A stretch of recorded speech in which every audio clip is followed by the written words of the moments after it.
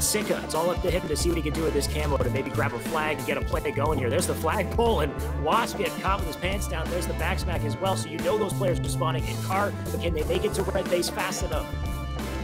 And this is what I talk about all the time, guys. If you're not prioritizing caroms, I don't know why. That's a perfect reason why you can get the camouflage. They end up getting it. They're not going to get that cap after the quick return. Great job overextending my line. They are the reigning two-time champion, and there's no sign of slowing down whatsoever. They might have a shot at another capture here. There's a big kill from Renegade. Looking for another one. They know it's going to be car bubble spawns as well. They're blocking the blue base. And Renegade already looking for those car bubble spawners. There's a base, bottom base spawner as well. Renegade. Orthodox players that I've ever seen uh, always brings the hype, always brings the passion. And let me tell wow. you, man, it's absolutely incredible because he just took out Troy from across the map the balls on this man to, to oh, and he gets a double too. But he uh, the former teammate of, of the now first time Halo and Call of Duty two-time champion oh. Shotzzy. We were talking about it earlier. And beautiful plays by Renegade now dropping the double kill. This is the reason why he's a champion. I think he's got kill frenzy. Is that a frenzy?